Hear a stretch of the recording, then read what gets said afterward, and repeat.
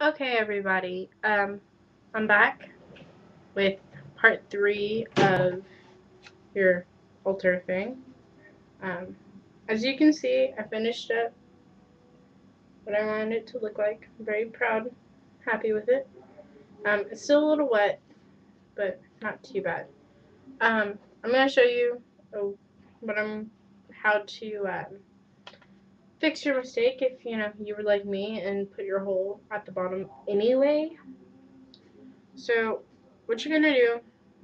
Okay, I'm just gonna set this up like right there. Uh, you're ah fell. Cool. I think I messed up. Um, you're gonna just take just ribbon. It can be, you know, two inches, one inch thick. This is actually purple, which since my purple didn't work on my um, thing, I'm okay with. You're just gonna like double it over about, I don't know, that long. Okay. And cut it. Might help if I had scissors near me. One second. Okay. So, just gonna take it, cut it. Right. Okay. And then this really isn't all that dry. Uh, have you go down here? Okay. So all I'm doing now is taking hot glue. Kids, if um, you're watching, have your don't do this without parent permission, and definitely have their supervision. Okay, so you just do a dab of hot glue, and you put your ribbon down. Kind of hold it down. No, can't really see, can you? There we go.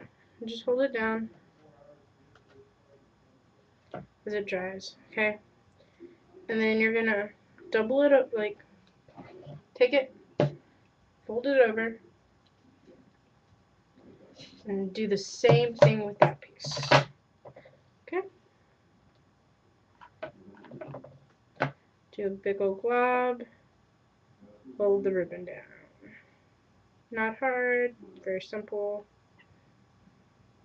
Okay, immediately unplug your glue gun.